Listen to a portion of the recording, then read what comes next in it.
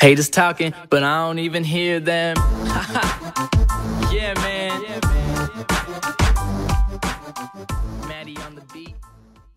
Yo guys, what's going on? Toby here, or Tobes, and welcome back to another episode of Topical Tobes. Now, before I get onto today's topic, um, just want to explain what's going on in the background. It's one of my own gameplays. Um, it's a really recent one, to be fair, because it's after the DLC content has come out, and I'm using the Peacekeeper in this gameplay, and I really, really do enjoy using this gun. Like, I'm probably going to get bored of it in a couple of days or so, um, depending on how much I play it. But I think the look of the gun, I think it looks amazing, and um, I think it's it's quite a strong weapon. Like, it's not overpowered as such. Um, but at the same time, it's really good to use, and you know, it's just it's it makes a really nice change, I guess. But um, yeah, moving on to today's gameplay. Now, this week I struggled really hard. I like I made it um my target, I guess, to find something that wasn't too negative to commentate on, because like a lot of the topics I do tend to cover tend to be like um covering really negative um stories as such, and you can't blame me for that because generally in the news you do tend to find negative stories. Like I don't think there's ever been a day where I've like watched the news or read news articles online where I haven't seen a negative storyline. So it's something that's really hard to avoid. But I kind of set my sights on finding something not too negative to talk about. And this is really quite a funny story that I'm going to cover. Basically, um, the owner of a car in um, Edinburgh, in an Edinburgh car park, couldn't find a space to park.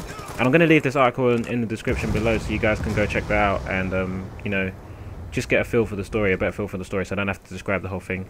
But, um, just a quick summary. They um, couldn't find a place to park in this car park because um, half of it had been like cordoned off, I guess, or there'd been barriers put up because there were plans for um, resurfacing of part of the car park. And so this this um, car owner must have moved um, moved the barriers just so they could park their car in that area. And so um, these workers who were going to resurface the place turned up the next day ready to do their job as such and um, they turn up to a Mercedes parked in the middle of like the area where they're meant to resurface. So, like, obviously they couldn't just leave their job for the day because one person had stupidly parked their car, like, in that place. So um, they have to, they end up digging around the car, and there really is quite a funny picture. Of, you just you just see the um, Mercedes parked in the middle of this like half dug up car park, and you're thinking, what the fuck is going on here? But um, the workers were nice enough to leave a ramp for the car owner to be able to remove their car later. But it just brings to mind that the fact that um, you tend to get a lot of um, rich people or wealthy people doing what whatever they want. I don't know if it's, if, if it's because they are rich, they think they can get away with shit.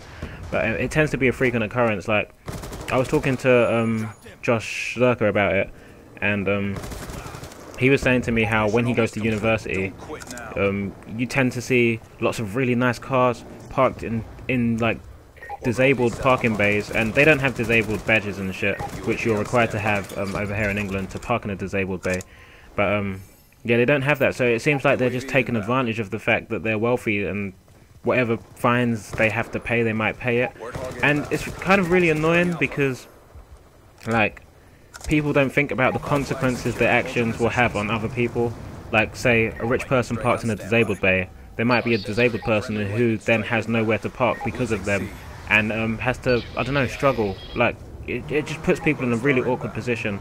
The same thing with those workers. Like, it made their task a little bit harder. But I want to know what you guys think about this. So if you guys could hit me up in the comment section below with your thoughts. Once again, I want to thank you for all your support on my previous episodes of Topical Tobes. Like, um, I can't keep doing this without you guys. Like, so yeah, just a massive thank you to all you guys. Hope you guys have enjoyed the video. If you have, feel free to leave a like, and I'll talk to you in a bizzle. Peace.